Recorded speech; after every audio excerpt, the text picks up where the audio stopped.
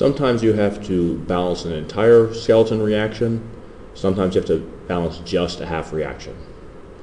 And if you are doing an entire one, well, you're going to have to make up your own half reactions anyway. So let's take a look at a couple of examples here of a basic and acidic solution where we're just worrying about balancing the half reactions. We're not going to combine these two. Okay, so I have two examples here. We've got number one, X2 random substance turning into XO3. Now first off, these are skeleton reactions. Now they're skeleton half reactions, but same, same idea. That means you have both reactants and products. As soon as you see that, do not use your data table, okay? You have to make up your own half reaction. All right, first thing we're gonna do, and this is regardless if it's a half reaction or a full reaction, is you're gonna balance all atoms other than over H.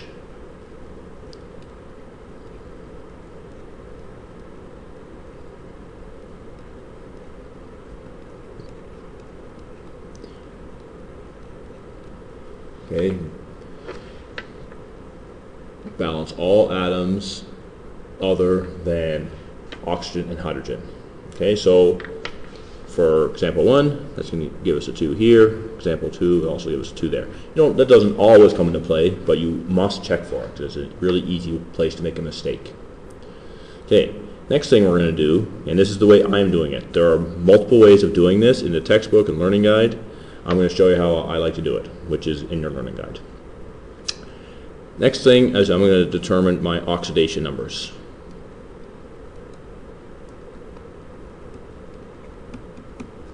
All right, so we've got pure element x2, uh, 0, and this x works out to be plus 4.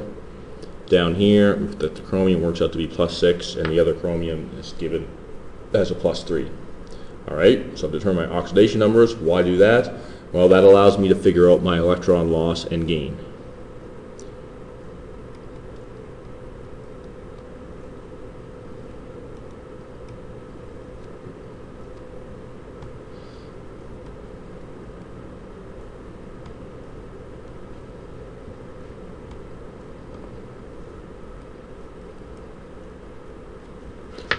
Okay, so I'm going from 0 to plus 4 for that example. This example, I'm going from plus 6 to plus 3. And keep in mind, these are different. Not, we're not combining these right now. So in example 1, 0 to plus 4, that's a loss. So a loss of electrons, or oxidation, of 4 electrons per x. Okay? But there are two x's. That's why you got to make sure you balance the non-O's and H's. There are two x's involved in this half reaction, which means I've got a total loss of 8 electrons. Okay, and that would be for the whole X2 compound or X2 going to X2XO3, however you want to indicate it.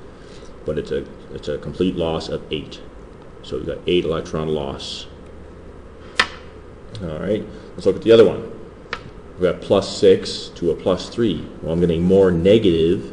That means I have a gain of electrons.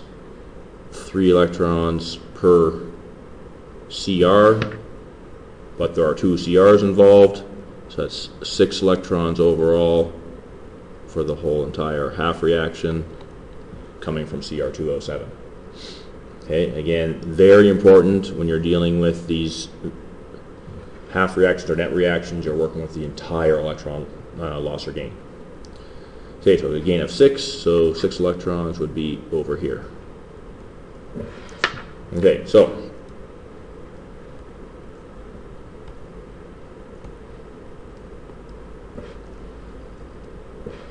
next thing I'm going to do, once I've determined my electron loss and gain, is balance out my electrons. Okay, so now these steps are going to apply to both half reactions and net reactions. The nice thing is, if you're dealing with a half reaction, well, the electrons are already balanced because there's really no balancing you have to do. Okay, so this step is just for full reactions. And you'll see that on another video. So for full reactions only. So we get to skip that one. Next thing we're going to do is balance my charge. Now that depends whether you are in an acidic solution or a basic solution. Okay, and the way I'm doing it, um, no difference between whether you're an acid or base, other than the fact it's H or OH. Uh, with the book, there's a few extra steps if you're in base. They both work fine. I just prefer this way. It's a little more efficient.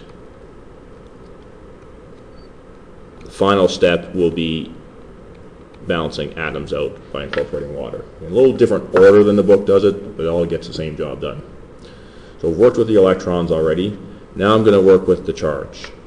When I am balancing charge, I want to make sure the sum of my products, okay, so when we're dealing with charge, the sum of my products equals the sum of my reactants, or vice versa. So in that, when you're doing that, you have, must take into account all the charges that are given, not ones you figured out, the charges that are given, incorporating the coefficients as well.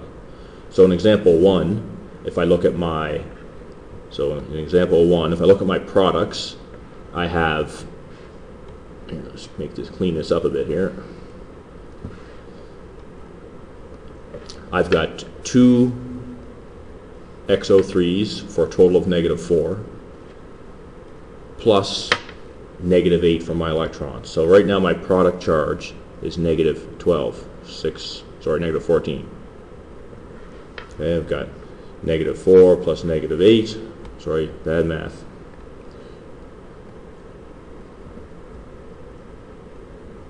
Negative 12, and then on my reactant side, I've got 0. Well, that doesn't equal each other. So, since I'm in base, okay, the question says, number one says I'm in basic solution, that means I'm going to put as many OH negatives wherever I need to make that charge equal. So in that case, that's going to be over here. Okay, the charge is 0 on my reactants, so I'm going to have to put 12 OHs, like so. Okay, so now the charge is now balanced. Now I've got to work with my atoms. Well, I need, I sorry, I have 12 H's on my reactants and none on my product side. So that means I'm going to have to add 6 water to my product side in order to balance that out. Okay, and that makes sense. What my H is now balanced. I have 12 O's in my reactants. I have 12 O's in my products now. So this is a perfectly balanced half reaction. Okay, with the acidic one, working with the working with the charge again. Hopefully my math will be better this time.